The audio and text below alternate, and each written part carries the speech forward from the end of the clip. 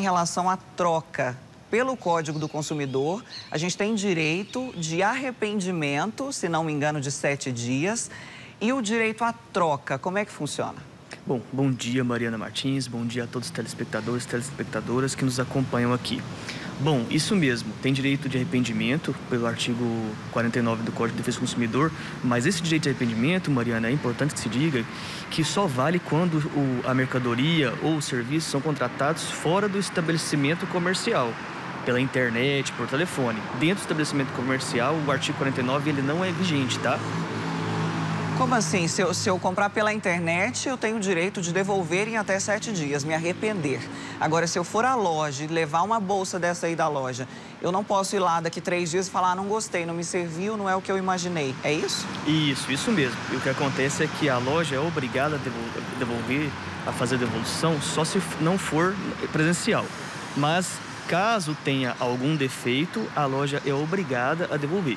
Se não houver defeito, não, não é obrigado. Aí vai mais daquela prática de, de, de boa vizinhança, de bom atendimento ao consumidor. É, é, importante demais, gente, a gente esclarecer isso, porque muitas vezes o consumidor acha que o lojista, que o comerciante é obrigado a trocar o produto. E ele não é obrigado a trocar o produto. Você foi na loja, por exemplo, olha o que o Florisol está falando pra gente. Você foi lá na loja, ou você ganhou um presente. Você calça 36 mas seu pé tá meio gordinho, tá meio inchado, quer trocar por um 37. Se você for à loja para trocar, o lojista faz isso pela política da boa vizinhança, para manter o cliente. Ele não é obrigado a trocar, mas se tiver defeito, ele tem sim que trocar. E aí eu preciso levar a nota fiscal? O que, que eu preciso levar?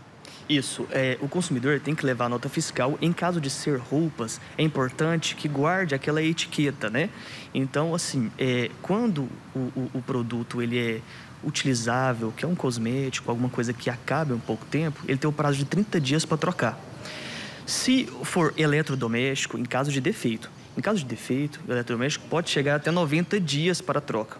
Em caso de não havendo defeito, é o que a gente fala, não tem obrigação de, de, de efetuar a troca. Mas a gente aconselha aos consumidores nesse tempo que ali é, é, observe as práticas da loja, porque tem muitas lojas, inclusive, que já, já, você vai dar o presente, vai trocar presente, já dá um selinho, um selinho ali de troca, de direito à troca em caso de não gostar, de querer já trocar para facilitar, né? Isso.